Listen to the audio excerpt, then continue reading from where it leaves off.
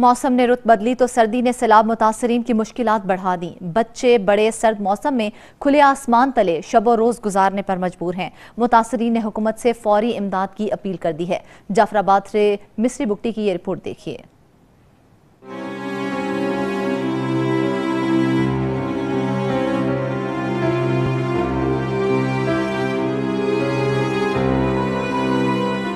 बलोचिस्तान में तीन माह बाद भी सैलाब जदगान की मुश्किल कम न हो सकी। सैलाबी पानी की तहाल नकासी न होने से मुतासरीन मौसम की तलखियाँ बर्दाश्त कर रहे हैं। जाफराबाद में सैलाब से मुतासर इलाकों के बासी, सर्द मौसम में खुले आसमान तले शबो रोज गुजारने पर मजबूर हैं।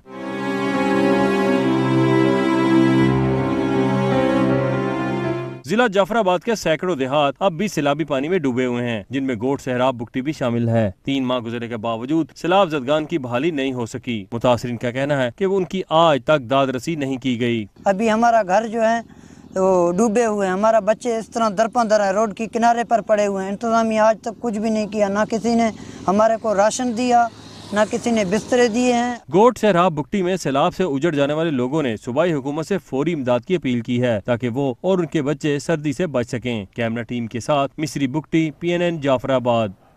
यहाँ शामिल करेंगे ब्रेक हमारे साथ रहिएगा।